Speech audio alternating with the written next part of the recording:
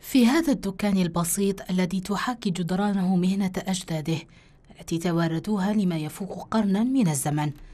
لا يزال الشاب عبد الحميد يصون وصية والده الراحل المتمثلة في المحافظة على مهنة طحن الحبوب في مطحنة تعود إلى العهد الاستعماري. المهنة هذه راهي أبن عن جد راهي تقريب في آه، موروثة أبن عن جد راهي تقريب في قرن.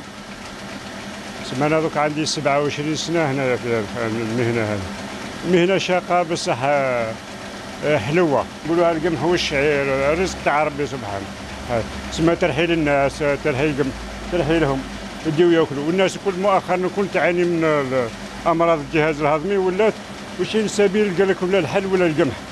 القمح يأكلوه هكذا كامل مطحون كامل ماهوش مغربل يعني هو بالنخاله تاعو بالكل هو والشعير والشعير.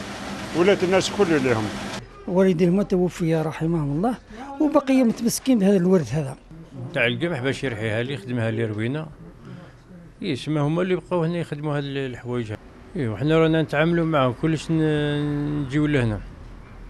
ويجوه من مناطق كل ورثوها عن اجدادهم ابائهم واجدادهم وبقوا متمسكين بها إلى يومنا هذا. وفي وقت شهدت فيه الأسعار ارتفاعا أبقى عبد الحميد على الأسعار السابقة بنفس خطى والده بمبلغ لا يتعدى سبعين دينارا أو ما يقابل ذلك من قمح أو شعير. نرحيو هكذا نرحيو كان لي الحي بالدراهم مثال البيدونه كيما هكذا ب 70 دينار ولا يحب ينحي له آه، كيلو كيلو حاجة كيلو تاع والبركة والبركة في القليل.